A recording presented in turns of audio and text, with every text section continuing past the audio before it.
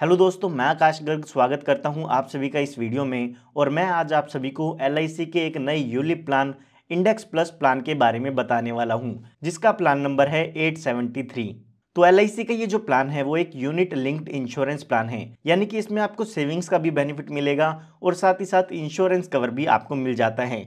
अगर आप इस प्लान को बाय करना चाहते हैं तो 6 फरवरी 2024 के बाद आप इसे एलआईसी से बाय कर सकते हैं। यहाँ पर जो भी यूलिप प्लान्स होते हैं, उसमें जो भी आपका पैसा है, वो शेयर मार्केट में इन्वेस्ट किया जाता है और शेयर मार्केट से जो भी रिटर्न आती है, वो अमाउंट आपको दे दिया जाता है। तो यहाँ पर अगर आप भी शेयर मार्केट में इन्वेस्टमेंट करना चाहते हैं और साथ ही साथ इंश्योरेंस कवर का भी बेनिफिट चाहते हैं तो आप इस प्लान को बाय कर सकते हैं। आइए जानते हैं कि इस प्लान में आपको क्या क्या बेनिफिट मिल जाते हैं। तो सबसे अच्छा बेनिफिट इस प्लान का यही है कि इस प्लान में जो भी आपका पैसा है, वो केवल और केवल इक्विटी फंड में इन्वेस्ट किया जाता है। इस प्लान की दूसरी खास बात यह है कि इसमें आपको गारंटीड एडिशन भी मिलता है। यानी कि जो भी आपकी फंड वैल्यू होगी, उसमें कुछ गारंटीड अमाउंट ऐड किया जाएगा, जिससे आपके जो फंड की वैल्यू है, वो यहाँ पर इंक्रीज होती है।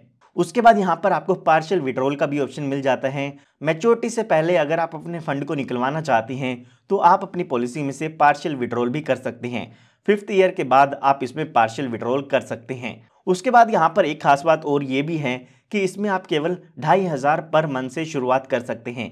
अगर आप पच्चीस सौ रुपये या पच्चीस सौ रुपये से ज़्यादा इन्वेस्ट करना चाहते हैं तो आप इस प्लान को बाय कर सकते हैं। उसके बाद यहाँ पर आपको एक टैक्स बेनिफिट भी मिलता है कि यहाँ पर जो भी आपको मेच्योरिटी पर पैसा मिलेगा, वो टैक्स फ्री होगा। लेकिन यहाँ पर आपको ये ध्यान रखना है कि जो आपका एनुअलाइज प्रीमियम है, वो ढाई लाख रुपए तक का होगा, तभी आपको ये टैक्स फ्री रिटर्न्स का बेनिफिट मिलेगा। तो आइए यहाँ पर अब जान लेते हैं कि इस प्लान की आपको क्या क्या कंडीशंस देखने को मिल जाती हैं। तो यहाँ पर सबसे पहले आपको ये डिसाइड करना होगा कि आप कम इंश्योरेंस कवर चाहते हैं या ज़्यादा इंश्योरेंस कवर चाहते हैं। यहाँ पर आपको दो ऑप्शन मिल जाती हैं।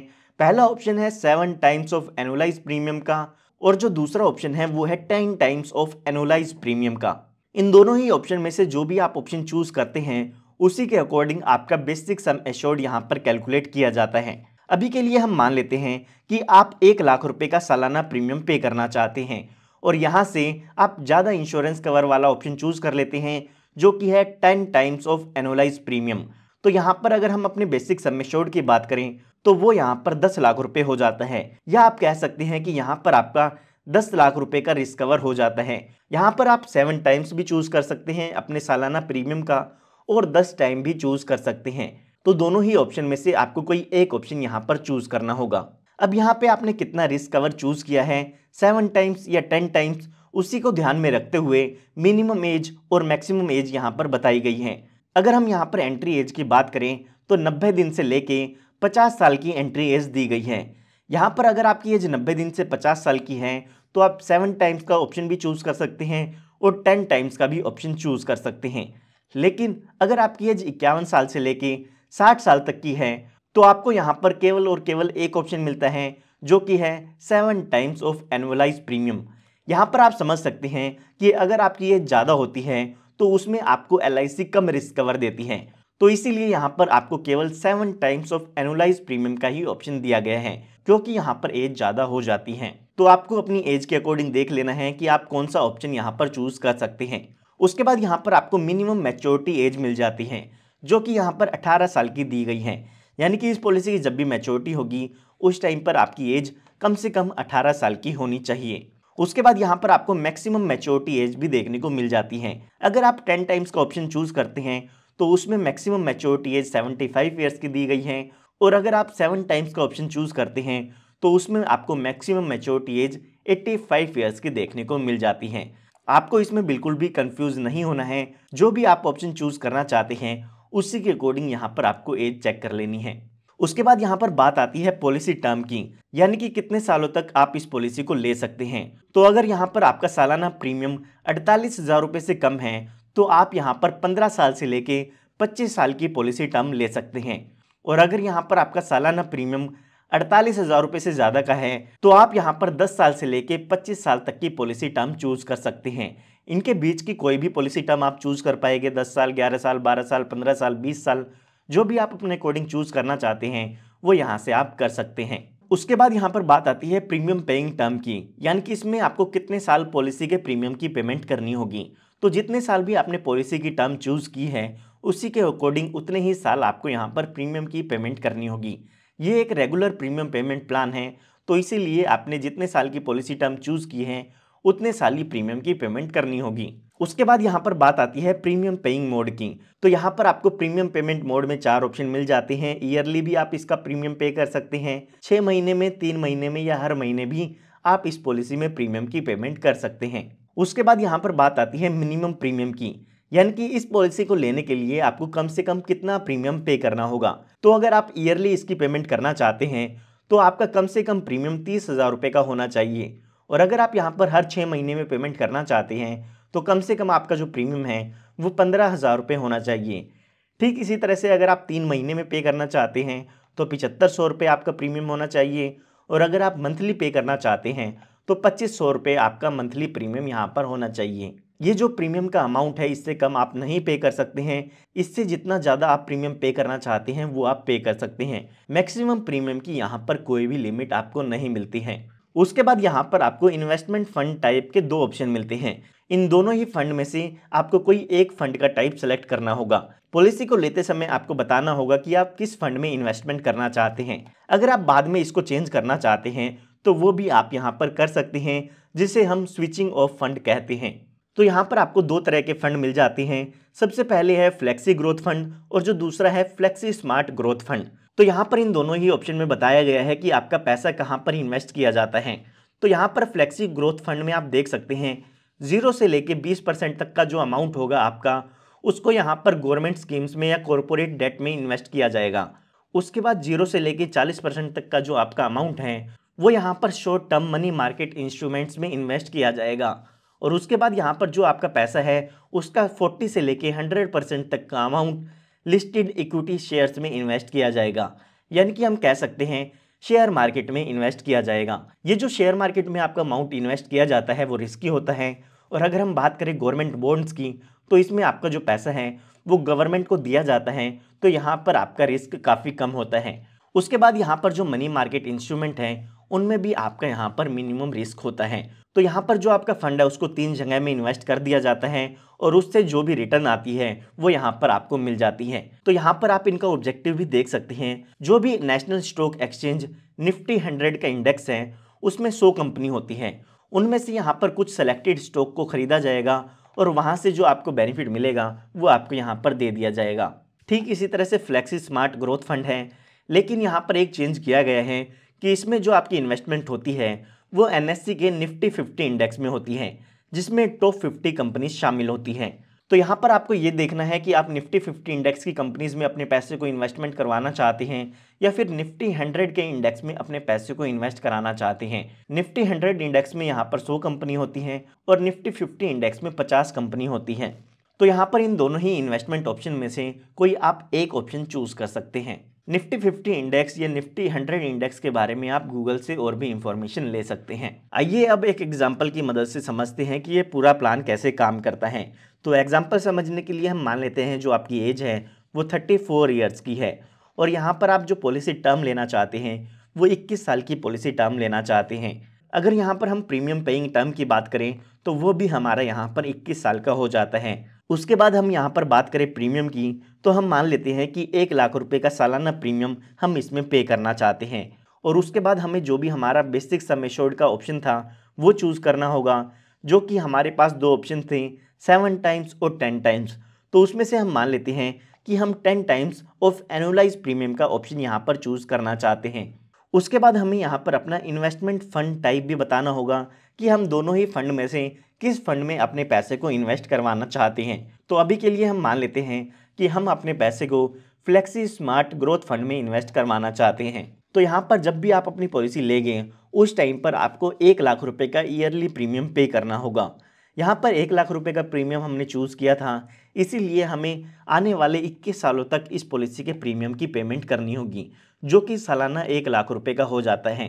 अब यहाँ पर जो भी ये एक लाख रुपए का अमाउंट है, उसमें से एलआईसी कुछ चार्जेस को डिडक्ट कर लेती है। वो चार्जेस होते हैं premium allocation charges policy administration charges mortality charges fund management charges तो उसके बाद जो आपका पैसा है, वो स्टॉक मार्केट में लगा दिया जाता है। या हम कह सकते हैं इक्विटी मार्केट में लगा दिया जाता है। तो यहाँ पर जब हमारी पॉलिसी के इक्कीस साल पूरे हो जाती हैं तो यहाँ पर इस पॉलिसी की मैच्योरिटी हो जाती है। और मैच्योरिटी के टाइम पर आपके फंड वैल्यू के साथ साथ आपको अपने मोर्टेलिटी चार्जेस भी रिफंड में मिल जाते हैं।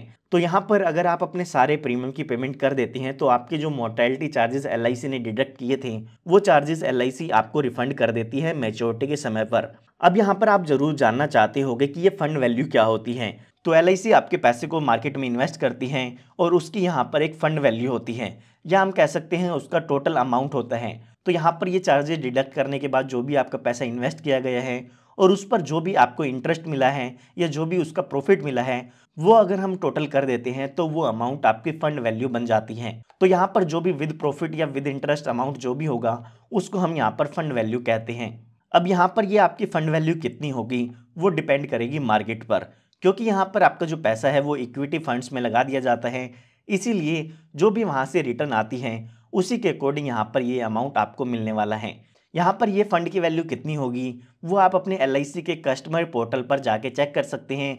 जो भी उसकी वैल्यू होगी, वो वहाँ पर आपको देखने को मिल जाती है।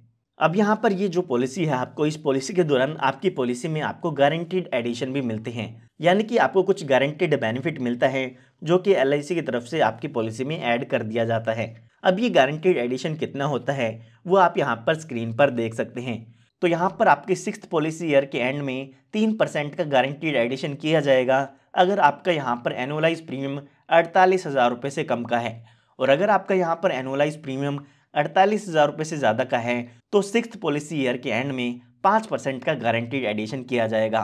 ठीक इसी तरह से आपकी पॉलिसी के बीसवें साल के एंड में पंद्रह परसेंट गारंटीड एडिशन किया जाएगा या फिर पच्चीस परसेंट गारंटीड एडिशन किया जाएगा। अगर आपकी यहाँ पर पॉलिसी का प्रीमियम अड़तालीस हज़ार रुपये से ज़्यादा का है तो। तो यहाँ पर आपकी पॉलिसी में कितना गारंटीड एडिशन होगा, वो आप स्क्रीन पर देख सकते हैं। यह हमने बात तब की है जब पॉलिसी होल्डर के साथ कोई भी दुर्घटना नहीं होती है। आइए अब बात करते हैं कि अगर इनके साथ कोई दुर्घटना हो जाती है या इनकी डेथ हो जाती है तो उस केस में इनके नॉमिनी को क्या बेनिफिट मिलता है? तो यहाँ पर अगर हम मान लेते हैं कि थर्ड ईयर में इनकी पॉलिसी होल्डर की डेथ हो जाती है तो उस टाइम पर यहाँ पर तीन कैलकुलेशन की जाती है। उन तीनों ही कैलकुलेशन में से जो भी ज़्यादा अमाउंट आता है, वो उस पॉलिसी होल्डर के नॉमिनी को मिल जाता है। तो यहाँ पर सबसे पहली कैलकुलेशन बताई गई है, वो है basic sum assured reduce by any partial withdrawal made during the two years period immediately proceeding the date of death तो यहाँ पर आपके बेसिक सम एश्योर्ड में से पार्शियल विड्रोल का अमाउंट रिड्यूस कर दिया जाएगा। यहाँ पर जो हमारा बेसिक सम एश्योर्ड था, वो यहाँ पर दस लाख रुपए का था। उसके बाद यहाँ पर दूसरा जो ऑप्शन है, वो यहाँ पर आपकी यूनिट फंड की वैल्यू देखी जाती है। तो यहाँ पर इक्विटी मार्केट के अकॉर्डिंग जो भी आपकी फ़ंड वैल्यू होगी, उसकी वैल्यू चेक की जाएगी कि वो वैल्यू अमाउंट कितना है। और उसके बाद यहाँ पर जो भी टोटल प्रीमियम एलआईसी ने रिसीव किया है, उसका 105 परसेंट किया जाता है। तो इन तीनों ही कैलकुलेशन में से जो भी अमाउंट हाइयर आएगा, वो आपके नॉमिनी को दे दिया जाता है। अभी के लिए हमारे एग्ज़ाम्पल के अकॉर्डिंग जो ज़्यादा अमाउंट आएगा, वो आएगा बेसिक सम एश्योर्ड जो कि यहाँ पर दस लाख रुपए का हो जाता है। तो यहाँ पर डेथ के केस में दस लाख रुपए का अमाउंट इनके नॉमिनी को मिल जाएगा। उसके बाद यहाँ पर बात आती है कि इसमें आपको कितने चार्जेस पे करने होते हैं। तो यहाँ पर हमने देखा था कि जो भी आप प्रीमियम पे करते हैं, उसमें से LIC कुछ चार्जेस को डिडक्ट करती हैं और उसके बाद जो आपका पैसा है वो इन्वेस्ट कर दिया जाता है। तो यहाँ पर सबसे पहले LIC जो चार्ज डिडक्ट करती है, वो है प्रीमियम एलोकेशन चार्जेस जो कि आप स्क्रीन पर देख सकते हैं। फ़र्स्ट ईयर कितना प्रीमियम एलोकेशन चार्जेस होगा सेकंड से फिफ्थ ईयर कितना चार्जेस होगा, और उसके बाद आपको कितने चार्जेस डिडक्ट किए जाएँगे, वो सभी आप स्क्रीन पर देख सकते हैं। इस पॉलिसी को आप ऑनलाइन भी ले सकते हैं और ऑफलाइन भी ले सकते हैं, इसीलिए यहाँ पर अलग अलग परसेंटेज दी गई है। उसके बाद यहाँ पर आपको पॉलिसी एडमिनिस्ट्रेशन चार्जेस भी पे करने होते हैं। फ़र्स्ट फाइव ईयर्स में आपको कोई भी चार्जेस पे नहीं करने हैं, उसके बाद सिक्स ईयर और सेवन्थ ईयर के बाद आपको ये चार्जेस पे करने होंगे। तो यहाँ पर उसके बाद आपको मोर्टेलिटी चार्जेस भी पे करने होते हैं।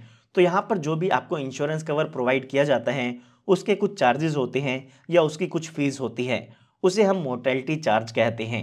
तो यहाँ पर ये आपकी एज पर डिपेंड करता है और आपके रिस्क कवर पर डिपेंड करता है। उसी के अकॉर्डिंग ये मोर्टेलिटी चार्जेस डिडक्ट किए जाते हैं। उसके बाद यहाँ पर आप अपनी पॉलिसी में एक्सीडेंटल बेनिफिट राइटर भी ले सकते हैं।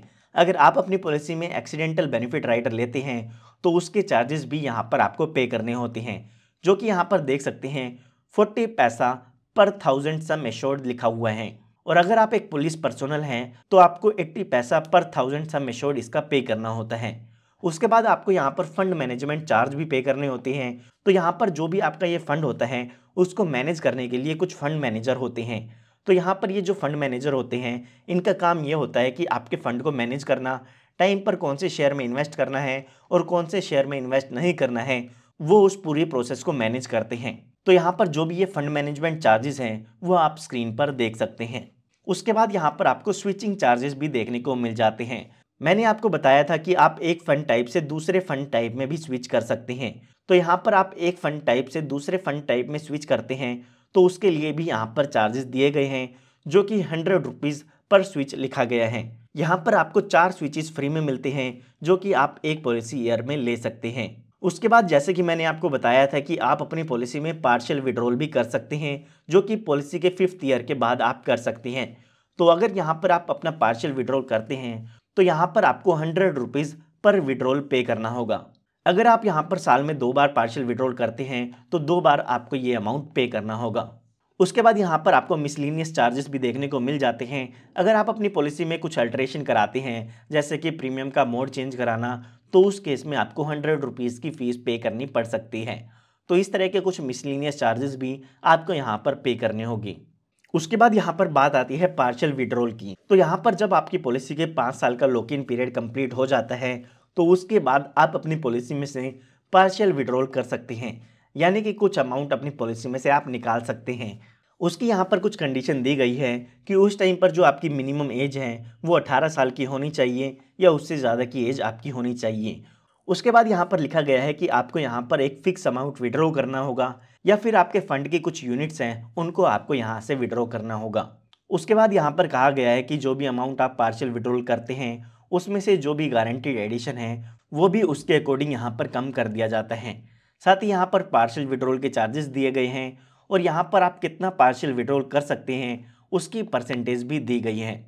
तो यहाँ पर अगर आप सिक्स ईयर से लेकर टेंथ ईयर के बीच में पार्शियल विड्रॉल करना चाहते हैं तो आप अपनी यूनिट फंड का बीस परसेंट तक का अमाउंट पार्शियल विड्रॉल कर सकते हैं। ठीक इसी तरह से अगर आप इक्कीसवें से लेके ट्वेंटी फिफ्थ ईयर तक पार्शियल विड्रॉल करना चाहते हैं तो पैंतीस परसेंट अपने यूनिट फंड का आप पार्शियल विड्रॉल कर सकते हैं। तो यहाँ पर जो आपको परसेंटेज दी गई है, उसी के अकॉर्डिंग आप यहाँ पर पार्शियल विड्रॉल कर पाएँगे। तो उसके बाद यहाँ पर बात आती है सरेंडर की।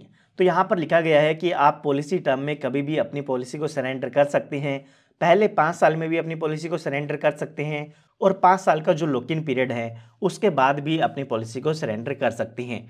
अगर आप यहाँ पर पाँच साल बाद जो कि आपका लॉक इन पीरियड है, उसके बाद सरेंडर करते हैं तो जो भी आपकी फ़ंड वैल्यू है, वो यहाँ पर आपको मिल जाती है।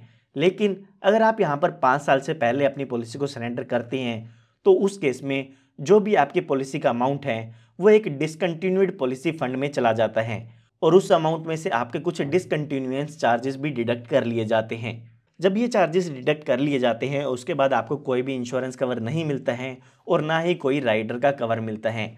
और जब आपका ये लॉक इन पीरियड ख़त्म हो जाता है उस टाइम के बाद आपका जो पैसा है, वो पॉलिसी होल्डर को मिल जाता है या फिर उनके नॉमिनी को मिल जाता है। अब यहाँ पर ज़रूर आप जानना चाहते होगे कि ये डिसकंटिन्यूएंस चार्जेस कितने होते हैं। तो आइए एक बार देख लेते हैं कि ये जो डिसकन्टीन्यूस चार्जेस हैं, वो यहाँ पर आपके कितने होते हैं। तो यहाँ पर जो भी डिसकंटिन्यूएंस चार्जेस है, वो यहाँ पर आप स्क्रीन पर देख पाएँगे। इसको हम ज़्यादा डिस्कस नहीं करेंगे क्योंकि ये उन लोगों के लिए हैं, जो पॉलिसी को कंटिन्यू नहीं करना चाहते हैं।